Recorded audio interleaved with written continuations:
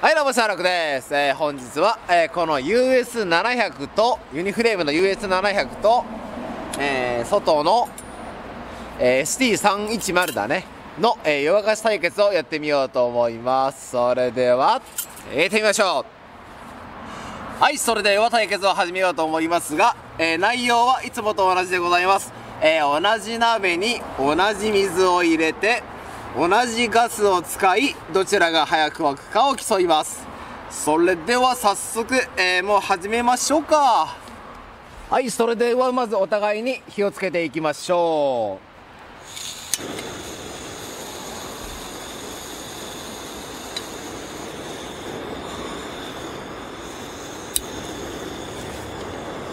はいこんな感じかな。それではプレヒートがせらもうちょっとこのままにしておきましてそれでは水の用意をいたしましょう。さあそれでは、えー水を張るでございます。鍋に。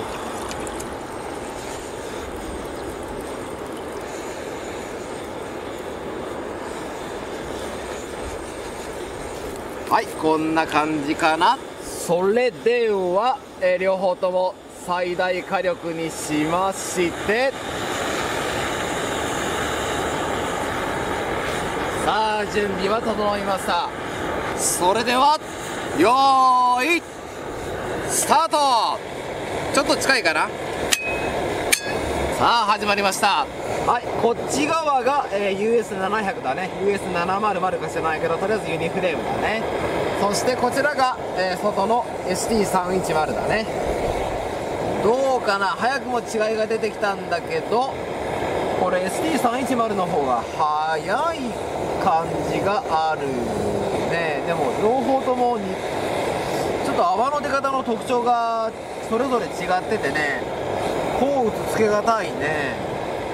US700 の方はね全体的に同じ均等に泡が立ってるのに対して ST310 はね真ん中のバーナーヘッドのあたりがちょっと大きい大きめの気泡が出てるね。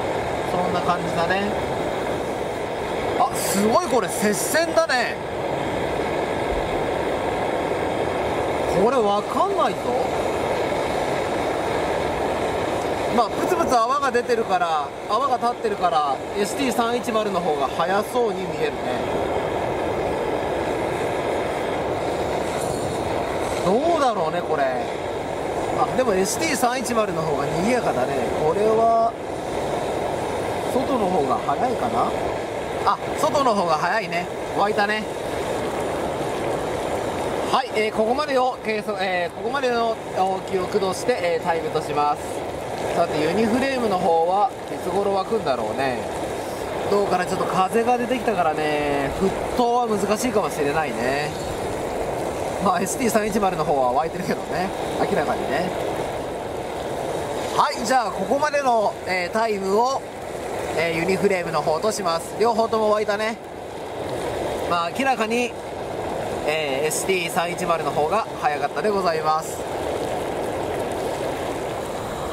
はい、えー下の方を映してみるとこんな感じだね、えー皆さんはどちらの炎の出方がお好みでしょうか。こんな感じで炎が出てるみたいでございます。はい、えー2つのバーナーの湯沸かし対決ご覧いただきました。いかがでしたでしょうか、えー結果としては ST310 の方が早く湧いたね。やっぱりねマイクロレギュレーターが強いんだと思うね。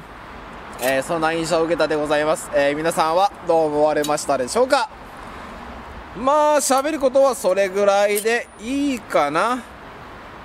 えーそんな感じでございます、えそれではまた別の動画でお会いしましょう。チャンネル登録よろしくお願いします。バイバイ。